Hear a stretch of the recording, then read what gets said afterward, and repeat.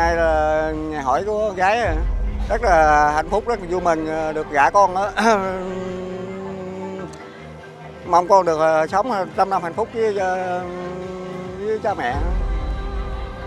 Nhân con ráng ngoan.